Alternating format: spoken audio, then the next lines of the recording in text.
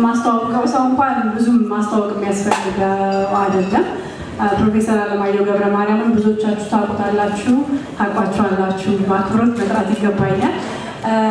ባለፉት ዓመታት ሳያቋርጡ ኢትዮጵያ ውስጥ ያለውን የሰብአዊ መብት ረገጣ ሳያቋርጡ ሳያቋርጡ ሲያስረዱ ሲሟገቱልን የህዝብ ድምፅ ሆነው የቆዩ ናቸው። ዛሬ ደግሞ እንግዲህ የአንዳንድ ሰው መታደል እንደዚህ ነው። እስከ ዛሬ ሰብአዊ መብት ረገጣውን ሲናገሩልን የህዝብ ድምፅ ሲሆኑ ቆዩ። ዛሬ ደግሞ በልማቱ ይኸው ተከስተዋል። ባካችሁ ወደ መድረኩ እሳቸውን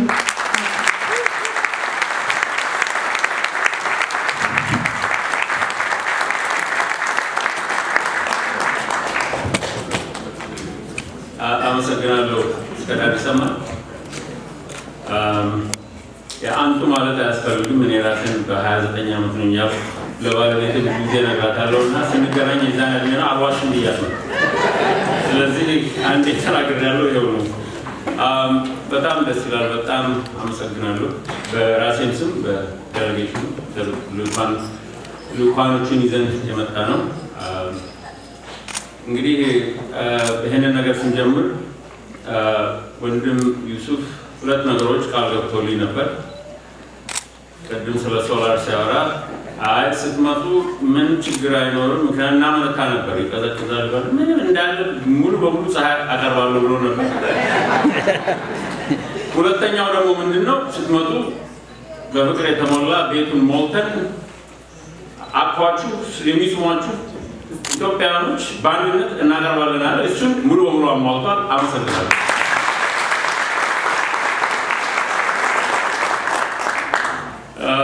በመጀመሪያ እንግዲህ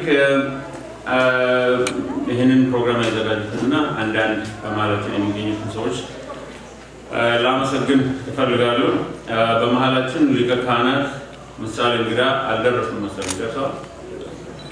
ትላንት ማታ አነጋግረናቸው ነበር እና አመሰግናለሁ። በእኔም በዴሌጌሽኑ ስም ሊቀ ካህናት መካለ ሕይወትም ቡራኬውን ሰጥተውናል። እሳቸውንም የከበረ ምስጋና ያቀርባሉ።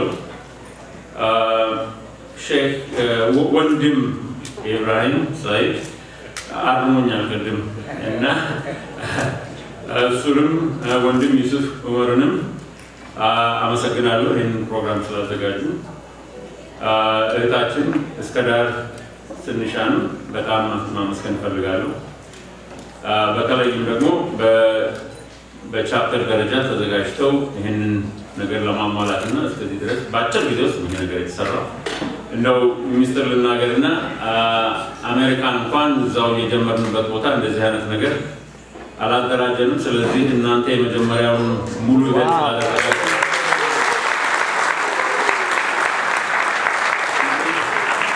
ይሄ ሚኒስትር እንግዲህ የሚወጣ አይመስለኝም። ሲሁ እናስቀምጠው ብቻ ለማናቸውም አንደኛ መሆናችሁን ለማስረገጥ ብዬ ነው። ችግር የለውም። ከሁሉም በላይ የተከበረ በአክብሮት ማመስገን እንፈልገው ሁላችሁም ዛሬ ተሳታፊዎችና ታዳሚዎች ነው የመጣችሁ። በጣም ደስ ይላል። ኢትዮጵያኖች እንደዚህ ተገናኝተን ለአንድ ግብ አብረን ስንሰራና አንድ ትኩረት ላይ ሆነን ቀደም አድርጎ እንደተጠቀሰው እስካሁን ያለፉት ዘመናት ያሳለፍነው በመናኮርና ቲማቲም መወርወር፣ እንቁላል መወርወርና እንደዚሁ መዘላለፍ ነው እንጂ አንድ ነገር ላይ አትኩረን የሰራንበት ብዙ አይታይም። ምናልባት እዚህ እናንተ አድርጋችሁ ሊሆን ይችላል። እኛ አሜሪካ ነገር በምክር ቤቱ አንዳንድ ህግጋት ለማሳለፍ የሞከርነው ነገሮች እንደዚህ ትንሽ ተሳተሉን። በዛ ላይ በህብረት ሰርተናል እንጂ በሌላ መንገድ እንኳን ብዙ ውጤታማ አልሆንም። እንግዲህ ይሄ አንደኛው ክሽፈትን ነው የሚያሳየው። ግን ዛሬ እዚህ እንድንሰበሰብ ማን ነው እዚህ ያቀረበን ይህንን ነገር ያሳካልን ማን ነው የሚለው ጥያቄ መጀመር እፈልጋለሁ። ብዙ አልናገርም፣ ምክንያቱም በጥያቄና መልስ ብዙ ነገር እናስተናግዳለን። እንደዚሁም ያሉት እህቴና ወንድሞችም እንደ አንዳንድ ነገር ይናገሩና እንግዲህ community engagement ከህዝብ ጋር እንገናኝ የምንለው ይሄን ነው እኛ መጥተን እዚህ ለፍልፈን መሄድ ሳይሆን እናንተን አዳምጠን ደግሞ የእናንተን ሀሳብ የእናንተን ጥያቄ መልሰን ከእናንተ ጋር ተቀላቅለን ምክንያቱም ባለቤቱ እናንተ ናቸው። እኛ ተሰየምን እንጂ እንደ አጋጣሚ ሆኖ ነው ራንደምሊ ነው እንጂ አስበን የገባንበት ነገር አይደለም። ስለዚህ እኛ የተቀበለውን ኃላፊነት ደግሞ ለእናንተ አስረክበን በውን ማለት ነው እናንተ ደግሞ ወደፊት እንድትገቡበት ነው እና ይህንን ለማመስከር እሞክራለሁ። እዚህ ለአንድ የሳውት ሰው ከኤምባሲ ሻርጅ የመጡት አቶ ለገሰ አራት ሰዓት ነጥተው ነው የመጡት። እኛንም አክብሮ መጥተዋል። የእናንተንም ጥሪ አክብሮ ነው የመጡት እና እሳቸውም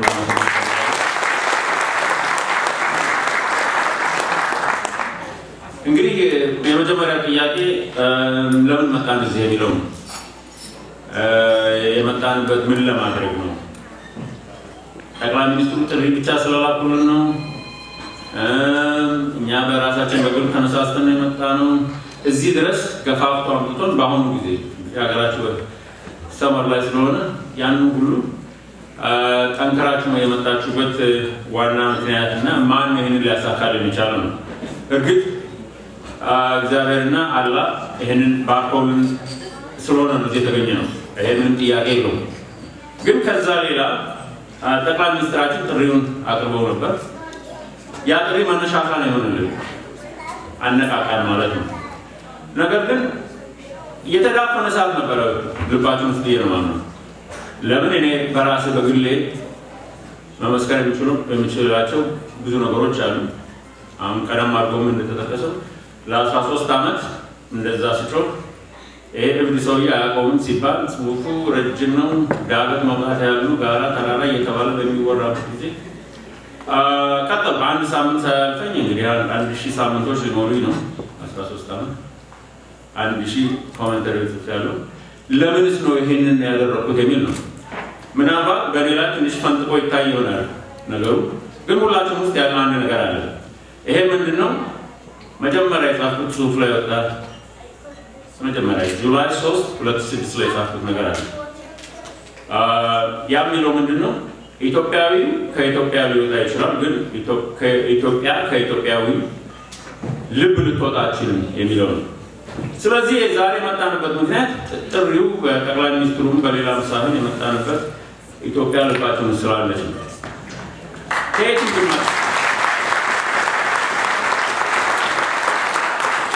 ብንማርም ብንከብርም ሁሉንም ነገር ብናደርግ ተመሳሰኑ ቁጭ ብንል ምንድን ነው ሌሊት ጣራ ጣራ ስናይ የምትመጣብን በተለይ ውጭ እየኖር ኢትዮጵያ እኮ ብለን ከዛ በኋላ ዳት አድርጎ ይጨርሰዋል። እንደዚህ ቢሆን አሁን ቅድም እንዳለው ስንት የሚራብ ስንት የሚቸገር አለ። እኔ ራሴ ከአርባ ስምንት ዓመት በኋላ ሄጄ በአይኔ ያረጋገጥኩት ነገር ነው። በአስራ ሶስት ዓመት በጽሁፍ እና በስታቲስቲክስ ያወራው በአይነ እጄ ደግሞ ሰው ትንሽ የበለጠ ስሜት ነው የሰጠኝ። ደስታም አለበት፣ ግን ደግሞ ነው። ምክንያቱም ያለው ልዩነትና ያለው ችግር ይሄንን ኤዲኬት የሚባለውን ነገር ደግሞ በበለጠ መንፈስ እንድሰራ የሚያደርገኝ አንደኛ እሱ ነው። እንግዲህ ዛሬ እዚህ የታደምነው ገንዘብ ለመሰብሰብ አይደለም። እንደሱ ብላችሁ ካሰባችሁ ስህተት ነው ብዬ ነው ማለት ነው። ለምን እኛ እኮ በልመና በዓለም የታወቅን ነው እንደምታውቁ። ካናዳ ራሷ ያለፈው ዓመት ሁለት መቶ ሚሊዮን ብር ሰጠችኝ። ስለዚህ ሄዶ የካናዳ መንግስት እጅ ብንጠና ይሰጡናል በልመና የአሜሪካ መንግስት የአውሮፓ መንግስት ይሰጡናል። ስለዚህ ይሄ የገንዘብ ልመና ነገር አይደለም። ስንቸገርም የውጭ ሰው ብዙ ጮሆልናል። ቪዲዮም ላይ እንዳየሩት እነ ቦኖ እነ ማይክል ጃክሰን We are the world Christmas ምናምን እያሉ ብዙ ነገር ዘፍነውልናል፣ ጮሆልናል። ጥያቄው ግን ሁልጊዜ እነሱን አመሰገንም ተመለከትን ምናል እንደዚህ እያየን ስንል ሶስቱ ደግሞ እኛ ላይ ምን አድርጋቸዋል ማይክል ጃክሰን እኮ ይህን አደረገ፣ በሆነ እገሌ ይህን አደረገ ስንል ሶስቱ ጣቶች እናንተ ምን አደረጋቸው የሚል ነው። እንግዲህ ብዙ አደረግን ብዬ መቼም እኔ መናገር አልችልም። ምክንያቱም በመሀላችን ብዙ ነገሮች ነበሩ። አንደኛው ምናልባት የህብረትን ጥቅም ካለማወቅ የመጣ ነገር ሊሆን ይችላል። አንደኛው የኢዲኬፍ መሰረታዊ ነገር ይህንን ነገር የሚያስወግድና በአስተሳሰባችንና በሀገር ጉዳይ ብለን የምናተኩርበት አንድ ነገር አገኘን ማለት ነው። በዓለም ላይ የትም ብንሄድ እኔ አሁን ኤርፖርት ላይ አንድ ኢትዮጵያ ባገኝ የመጀመሪያ ሰላምታ ምናልባት ልሰጠው ይሆናል። ካልሰጠው ግን መጀመሪያ የምጠይቀው ወይም የምጠይቃት ድርሻሽን አድርገሻል ወይ ነው ለማስትል ለኢዲቲኤፍ ምንድን ነው ስል ያን መናገር ሞክራለሁ። ለምንድን ነው ይሄ consciousness ወይም አስተሳሰባችን መቀየር አለብን ከአሁን በኋላ የድሮ መናኮሪያው ጊዜ አልፏል። ኢዲቴፕ የፖለቲካ ነገር አይደለም። ይሄ የኢትዮጵያ ሕዝብ ጥሪን የምናስተናግድበት ነገር ነው። ምክንያቱም ሕዝቡ እየጮኸ ያለው። ድምፅ እርግጥ ጠቅላይ ሚኒስትራችን እንደተጠቀሰው የሕዝቡ ድምፅ ማስተጋበያ ሆነዋል። ተሰሚነትም አላቸው። የሚናገሩትም በጣም የረቀቀ ነገር ስለሆነ ልባችንን ሰምቶ ይገባል። ስለዚህ ይህንን ነገር ደግሞ እኛ በራሳችን በስራም በተግባር ከዛ ደግሞ ማስተላለፍ ያለብን የእኛ ኃላፊነት ነው እንጂ የልመና ነገር ነው። በልመና ብዙ ነገር እናገኛለን። አሁን ሶስት ሚሊዮን ሶስት ነጥብ አንድ ሚሊዮን ብር ያህል ሰብስበናል ከ October ሀያ ሁለት ጀምሮ አንድ ሀገር ሄደን ብንለምን ያችን ገንዘብ በአንድ check ጽፉልን ይችላል። ግን እሱን አይደለም የምንፈልገው እኛ የምንፈልገው በትውልድ ኢትዮጵያ በዓለም ያሉትን ንቅናቄ ነው የምንፈልገው። አንድ የሚያስተባብርና አብሮ የሚያሰራ ንቅናቄ ነው የሚያስፈልገን። ስለዚህ በአጭሩ ነገር አትዩት ማለት ነው። ለምንስ አንድ ብር በቀን ስጡ ብለው ጠቅላይ ሚኒስትሩ ጠየቁ? ሚስጥር ልንገራቸው። የኢትዮጵያ ሕዝብ ከሀምሳ በላይ ሀምሳ በመቶ በላይ የሚኖረው አንድ ብር በቀን one dollar ያገኝ live less one dollar ይሄ ነው ሚስጥሩ። ስለዚህ አንድ ብር ስትሰጡ አንድ ኢትዮጵያዊ አንድ ቀን ኖረ ማለት ነው። የሀገራችን እውነቱ ይሄ ነው። የአሜሪካን አንድ ብር ዶላር ማለት ነው ብር እያልኩ እንዳይምታታ one US dollar Canadian ም ሊሆን ይችላል ከፈለጋችሁ። አብዛኛው የኢትዮጵያ ሕዝብ የሚኖረው ገጠር ሄዳችሁ አይታችሁት እንደሆነ አንድ ብር በ cash ነው የሚኖረው። ድህነቱ የዛን ያህል ነው። ስለዚህ አንድ ብር እናንተ ስትሰጡ የአንድ ኢትዮጵያዊ ህይወት ለአንድ ቀን አዳናችሁ ብላ ይበቃል። ምክንያቱም ሁለት ቀኑ ሊሆን ይችላል። ሰው ማይገባ ምን አንድ ብር አሁን ብትሰጡ ምን ለውጥ ያመጣሉ? መቶ ሚሊዮን ሰው እንዲ ያታደርጉም ወይ ምናምን ይላል። ግን ማሰብ ያለብን ያ አንድ ብር የኢትዮጵያን ህልውና define የሚያደርግ ወይም ምንነቱን የሚያሳይ የድህነታችንና የእኛን ደግሞ አንድ ብር ስንሰጥ ምን አይነት ለውጥ እንደምናመጣ ነው። እስቲ አስቡት። አሁን ሶስት ነጥብ አንድ ሚሊዮን ብር ሰብስበናል እስካሁን የዛን ያህል ሶስት ነጥብ አንድ ሚሊዮን ህዝብ ሁለት ቀን ህይወቱን ብንቀይር ምን አይነት ለውጥ ይመጣል? መቶ ብር ደግሞ ብንሰጥ የዛን ያህል ማለት ነው በቁጥሩ የመቶ ሚሊዮን ሰውንም ልንለውጥ እንችላለን። ስለዚህ እንድትመለከቱት የምፈልገው ይሄኛ micro level ኡን በትንሹ አድርገን ስንመለከተው ነው። ሰፋ አድርገን ደግሞ መመልከት ያስፈልጋል። እንዳልኩት እኔ ይህንን እልና detail የሆኑትን ነገሮች ነው በጥያቄና መልስ እንድንመልሰው ነው። ግን ይህንን ለማስጨበጥ ነው የምፈልገው መንፈሳችን ውስጥ እንዲገባና እንድንረዳው። ምክንያቱም ይሄና ይሄ ነገር ካልገባንና ካልተረዳን still ጥያቄዎቹ ይመላለሳሉ። ጥያቄዎቹ ከዚህ ጋር የተገናኙ አይደለም። እነዚህ ነገሮች ከልቦናችሁ ውስጥ እንዲቀመጡ እፈልጋለሁ። ኢዲቲኤፍ መንፈሱ ምንድን ነው ብትሉ፣ አንደኛ ኢትዮጵያን ከለማኝነት ማውጣት ነው። እኔ አርባ ስምንት ዓመት አሜሪካን ሀገር ስኖር ሁልጊዜ where from ሲሉ እንደው በሙሉ ልብ ከኢትዮጵያ ያለ ወይ አንዳንድም እንደ ቦታው ነው ወይ East Africa ላለው ምናምን ብቻ አይጎራውን ኢትዮጵያ እንዳለ እና ያውቃሉ። አዎ ኢትዮጵያ famine እኮ ነበረ የሚያስታውሱት እሱ እሱ ነው። ስለዚህ ይሄ ነገር የዛሬ አስር ዓመት success ቢሆን ከለማኝነት ወጣን ማለት ነው። እኔ በህይወቴ ማየት የምፈልገው ምንድን ነው? ኢትዮጵያ ለሌላ ዓለም እርዳታ ሰጠች ሲባል ያኔ የኔ ትንሽ አለቀ ማለት ነው። ከዚህ በኋላ ስራ ያስፈልጋል። እንግዲህ አሁን እቺ የምንተክላት ሲድ ወይንም ዘር እያደገች በምትመጣበት ጊዜ መጨረሻው ትልቅ ዛፍ ትሆንና እንኳን ስለ ኢትዮጵያ ቀርቶ ሌላውን ትተርፋለች። ይህንን ማስተዋል ያስፈልጋል። የአሁኑን አትዩ። አሁን አንዳንድ ቦታ ሲጠይቁኝ አሁን ይሄ ነገር ለስንት ጊዜ ይቆያል? ከአንድ ዓመት በኋላ ያልቃል ወይ ሁለት ዓመት ይላል። አይ ይሄ የሚያልቀው ምናልባት ትውልድ ሶስት አራት አምስት ትውልድ ከሄደ በኋላ ከዛ በኋላ ያልቃል። ምክንያቱም ድህነት እናጠፋለን። ከውጭ ሀገር ገንዘብ አንለምንም፣ ብድር አያስፈልገንም። ምክንያቱም እኛ ውጭ ያለ ነው እንደ ሌላው ሀገር እንደሚደረገው የኢትዮጵያን ዕጣ ፈንታ ወስደን እኛ እንችላለን፣ ከዛ እንወጣለን የሚል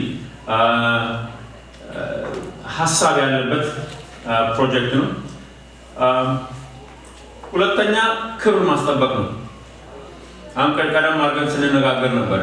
ከናይጄሪያ ከኬንያ መሳሰሉ ይደነቃሉ። አንዱ ወንድማችን ሲነግረን ነበር። እንዴት እንደዚህ ያደረጋችሁ? ይሄ እንዴት ሊሆን ይችላል? ምን ማለት ነው? ራሳችሁን ቻላችሁ፣ በራሳችሁ መቆም ቻላችሁ። ስለዚህ ይሄ ነገር ተስፋፍቶ ስኬታማ ከሆነ የሚመጣው ራሳችንን እናከብራለን ማለት ነው። ለሌላው እንተርፋለን ነው ያለው። ላለፉት አምስት ዓመት ሰው ዓለም ህዝብ የአፍሪካ የለማኝ ሀገር የሚባለውን ለመቀየር ነው። ሁለተኛ ደግሞ ሶስተኛ ለሚቀጥለው ትውልድስ ምንድን ነው ትሩፋት የምንሰጠው ነው። እኔ እንደምታውቁት አንድ ወንድማችን ቅድም ሲነግረኝ ነበርና እንደ አንዴ ዛሬ ይህን ጊዜ ጻፍከው በእኛ በእኔ ትውልድ ያለ ነው ገለል ብለን ለወጣቶቹ እድል እንስጣቸውና እነሱ ደግሞ የሞክሩት የሚል ጠንከር ያለ ሀሳብ ለብዙ ጊዜ ሳቀርብ ከርሜያለሁ። ይህንንም የማደርገው የእኔ ትውልድ ነው። እናንተ ብዙዎቻቸው ወጣቶች ስለሆነ ከነገር ምንድነው ምንም ትሩፋት አላቀረብንም። ምናልባት ይቅርታ አድርጉልኝና የእኛ ትሩፋት ካለ እናቃለን እያል አንዴ ሶሻሊዝም አንዴ ካፒታሊዝም እያምታታ ምን እያል ህዝባችን በዘር ስንለይ ራሳችን ለግል ጥቅማችን የፖለቲካ አስተሳሰባችን ለማራመድ ስንል ህዝቡን ረበሽና አተራመስ ነው እንጂ እኔ ይህን ያህል አቀረቡን ብዬ አላምንም። ይህንን የሚያሳየኝ ሰው ካለ ደግሞ ለመታረም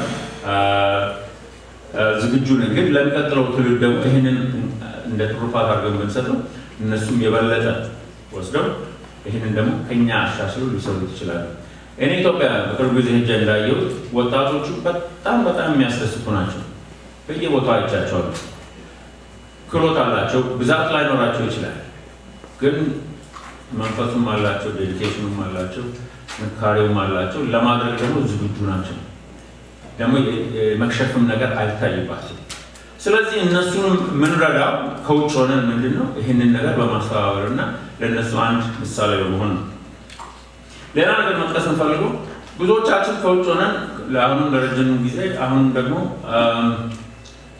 አገር ውስጥ ለምን አይደረግም እንደዚህ ጠቅላይ ሚኒስትሩ ይህን ቢያውቁ እያልን እናወራለን።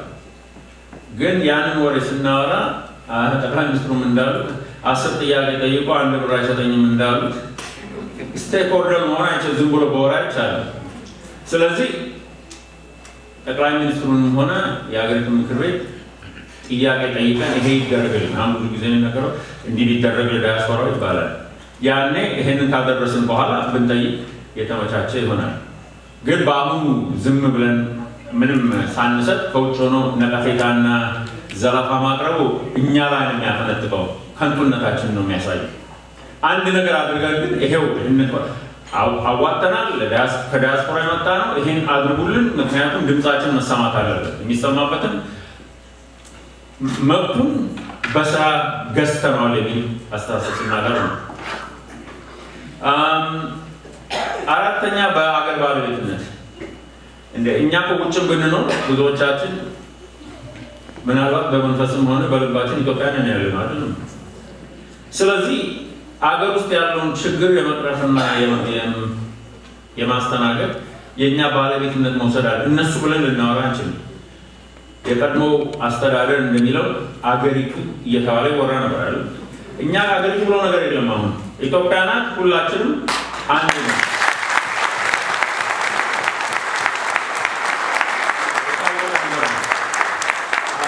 ስለዚህ ኢዲቲኤፍ አንደኛው መሰረቱ ይሄ ነው።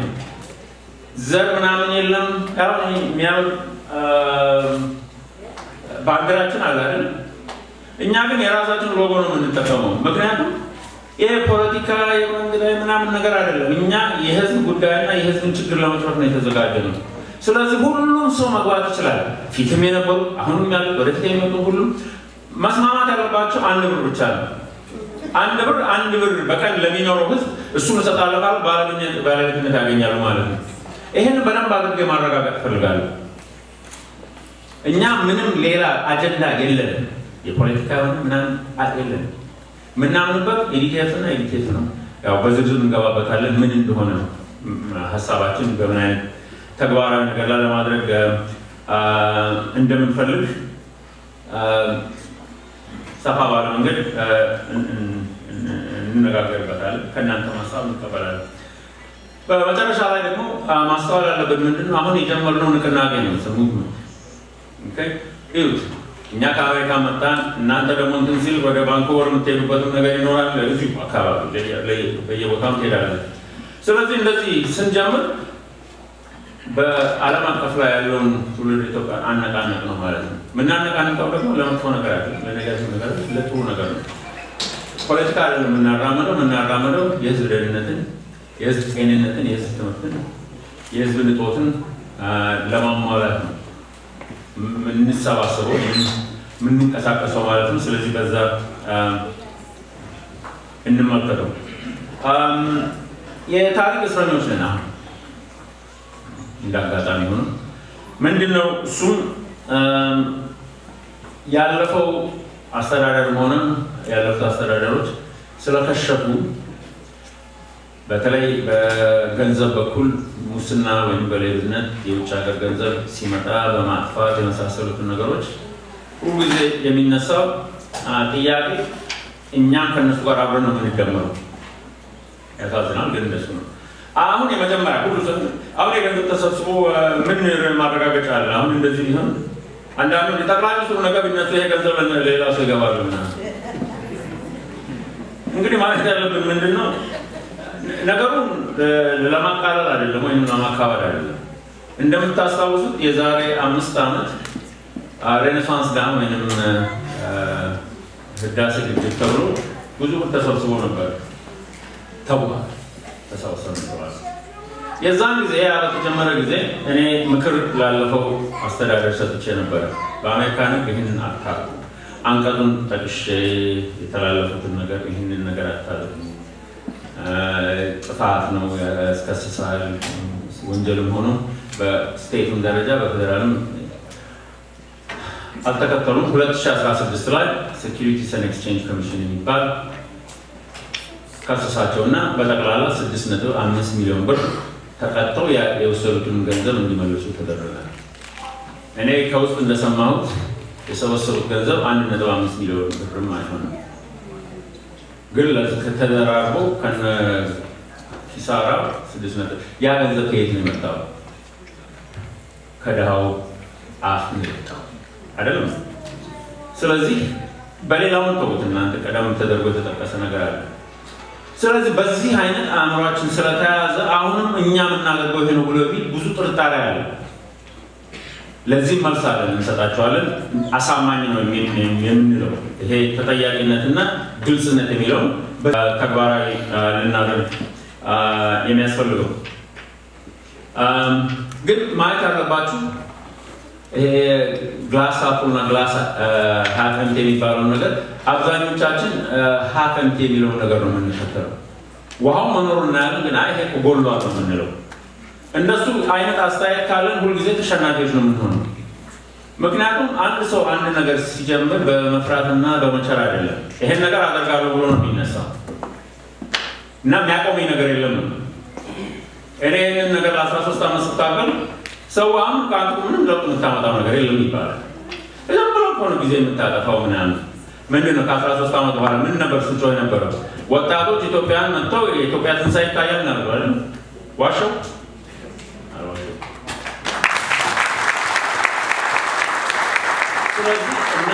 ሲመጡ መጀመሪያ ዶክተር አብይ ሲሰየም የተሰየመ ቀን Voice of America ላወጣ ምን ይመስላል ምናምን ሲሉኝ እኔ ይህን ሰውዬ ሙሉ በሙሉ ደግፈዋል። ምክንያቱም ወጣት ነው። የወጣቶች ኢትዮጵያ ሰባ አምስት በመቶ ወጣቶች ናቸው። እነሱን ይወክላል።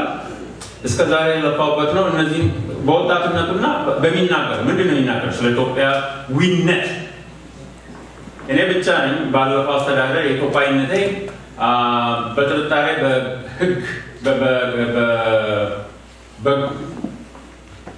በፐብሊክ ውስጥ የተነገረው። ፕሮፌሰር አለማየሁ ኢትዮጵያዊነታቸውን እኛ እንጠራጠራለን ብሎ የተናገረው በጻፉ ጽሁፎች ምናምን የዛን ጊዜ ነው እንግዲህ እኔም በደስታ የተቀበልኩት እሱን።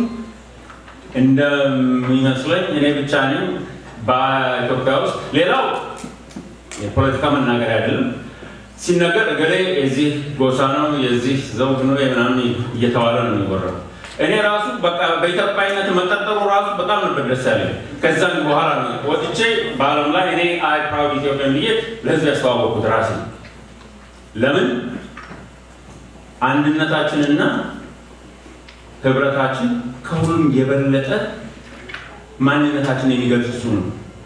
ጊዜያዊ ነገሮች ናቸው ሌሎቹ። ስለዚህ ከዚህ በፍርሃት አለመተማመን የመሳሰሉትን ነገሮች ይሄ ነገር ኢዲኬት ያነሳልን ያላል ራሱ ማለት ኢትዮጵያን ዲያስፖራ ትረስት የሚለው መተማመን ማለት ነው። አንድ ብር ሰጥቶ ለአንድ ብር መተማመን ካቃተን እንግዲህ ያሱ እኛ በብዙ ላይ ተሰማራን። አንድ ብር ይዘው ይጠፋሉ ወይም አንድ ብር ተካፍሎ ይበላሉ የሚል ነገር ሀሳብ ካለ እኔ እንደዚህ ለሚያስቡ ሰዎች በጣም አዝንላቸዋለሁ። ስለዚህ ይህንን እነዚህ ነገሮች በደንብ አድርገን እንመልከታቸው። በመጨረሻ ላይ እንደው ላሰምርበት የምፈልገው ነገር ምንድን ነው? ስለ ትረስት ፈንድ በምታስቡበት ጊዜ ስለ trust fund ብቻ አስቡ። ይሄ እገሌን ይጠቅማል። አሁን አንዳንድ ጥያቄ ማገኛለሁ። አሁን ገንዘቡ ሲመጣ በዚህ በኩል ይሄኛው ታወጣላችሁ፣ በዛ በኩል እንደዚህ still ሀሳቡ በዛው ሀሳብ ማለፍ አለብን። ይሄ EDTF ከዛ ያለፈ ነው። ከክልል ከምናምን እዚህ ቦታ ሳይሆን ኢትዮጵያዊ በኢትዮጵያዊነቱ ታውቆ ኢትዮጵያዊነቱ ደግሞ በሚያስፈልገው ነገር በዛ ደረጃ ነው የምናስተናግዳቸው ማለት ነው። ይሄ በደንብ አድርጎ እንዲገባን ያስፈልጋል። ሁለት ነገሮች ልናገርና እቀመጣለሁ። አንደኛ ድል ቢያብር አንበሳ ያስር የሚባል አስተያየት አለ። አንድ ብራችን ብትደማመር ድህነት የሚባለውን አንበሳ ታስራለች፣ በሽታን ታስራለች፣ እውቀት ማጣትን ታስራለች፣ የመሳሰሉትን ነገሮች ግን ያቺ ብር መደማመር አለባት ማለት ነው። ስለዚህ ያችን አንድ ብር እንደ ቀላል ነገር አትያት የሚል ሀሳብ ነው ተብላችሁ። ሁለተኛ ደግሞ እንቁላል ምንድነው በቀስ ብላ በእግሯ ትሄዳለች ነው። አሁን እኛ ያለነው በእንቁላል ደረጃ ነው፣ ገና አልደረስንም፣ ጫቅላንን ያቺ እንቁላል የዛሬ ዓመት እንግዲህ last October ነው የጀመርናት። ምን ይታወቃል? የዛሬ ዓመት ደግሞ ትንሽ ጫጩት እንሆናለን እያን አውራ ዶሮ እንሆናለን ማለት ነው። ስለዚህ በሱ ልታውቅ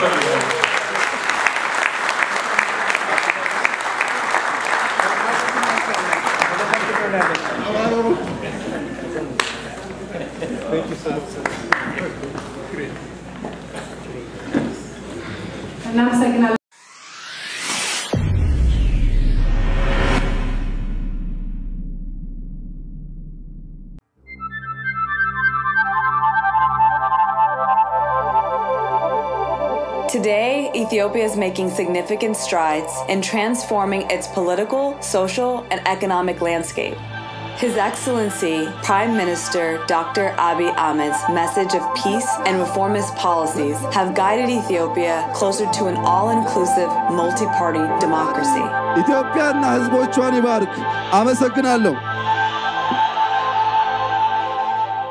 But with an estimated population of 108 million people, Ethiopia also faces enormous challenges. Poverty, disease, and illiteracy continue to pose an existential threat to Ethiopia.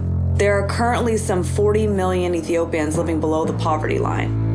A few months ago, His Excellency Prime Minister Dr. Abiy Ahmed made an appeal to the Ethiopian diaspora to contribute $1 a day to support projects in areas of critical unmet needs.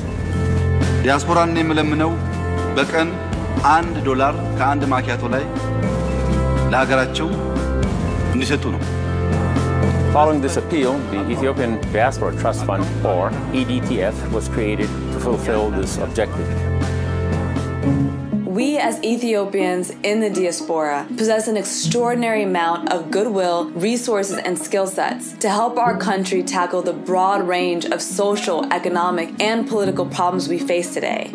It is absolutely vital that we get involved because the government alone is not capable of addressing all the complex problems facing Ethiopia today. A strong partnership between the diaspora and the Ethiopian government can significantly accelerate the country's socio-economic development. We've been asked to give a small donation of $1 a day. If you have more, please give more. If you don't have a dollar a day, pledge what you can. And just remember, as soon as you give a donation, you become a member of this fund. And please don't forget that we need you. Every single Ethiopian is deserving and is worthy of a great education, access to clean water, and living a life without poverty. Remember about the people on the other side of our giving. Please visit our website at ethiopiatrustfund.org and learn about the fund and make a contribution.